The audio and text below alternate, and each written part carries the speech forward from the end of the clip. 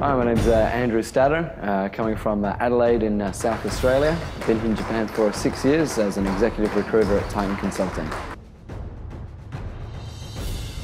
I wanted to get in there, give it a shot. Uh, every year, try and challenge myself, uh, do something cool, uh, some sort of physical challenge, and uh, linking it up together with a charity and uh, helping people out, fighting for something bigger than me, uh, always makes it a worthwhile cause.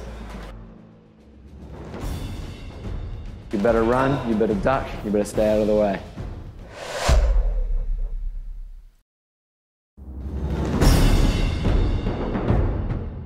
My name is Tobias Quente. I'm 31 years old. I come from Germany and I work here in Japan for Mercedes-Benz Retail I watched uh, Executive Fight Night the last two years and supported it as, as, a, as a visitor and spectator, but I didn't have quite the fitness level yet. This year I felt ready. I'm joining you to help out for, for a good cause for Shine On Kids.